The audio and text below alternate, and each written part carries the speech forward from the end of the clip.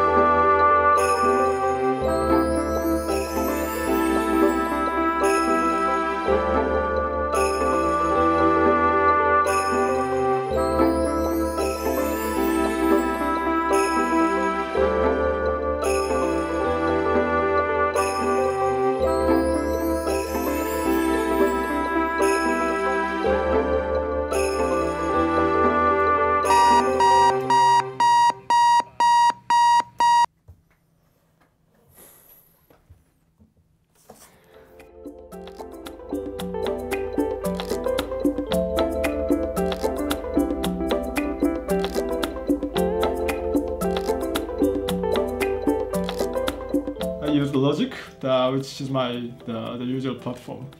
Although I had no, this is supposed to be spontaneous, I wasn't sure if I can if I could make something interesting, so I did prepare a little bit. I admit, but then I recreated I re, I just recreated the, the, my process on how to how I composed this track.